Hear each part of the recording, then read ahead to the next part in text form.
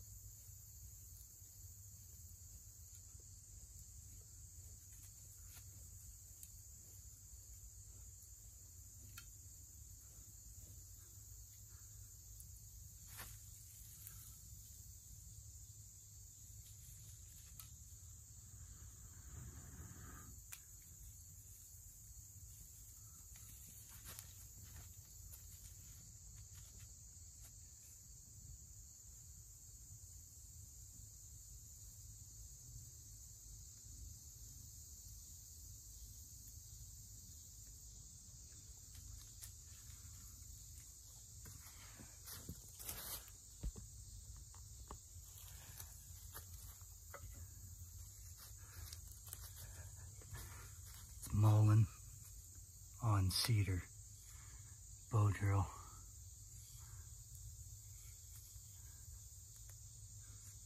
Plant stems are a little trickier than regular wood. They're easy and great for spinning with hand drill. Uh, it's a little different than normal wood when you're spinning with the bow drill, a little bit trickier. Uh, it was slipping on me a lot, but This one looks pretty good. Smoothed out on the stone bearing block.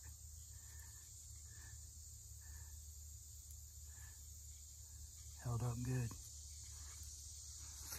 It's my first time ever trying mullein on cedar. Worked just fine. I'll have to use it on a hand drill sometime.